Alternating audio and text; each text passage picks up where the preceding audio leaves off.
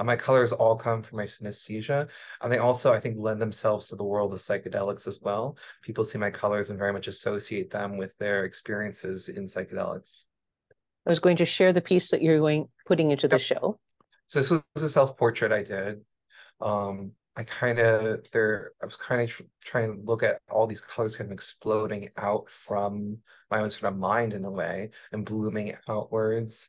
Um, I have details like the numbers on one side and more the colors and shapes on the other.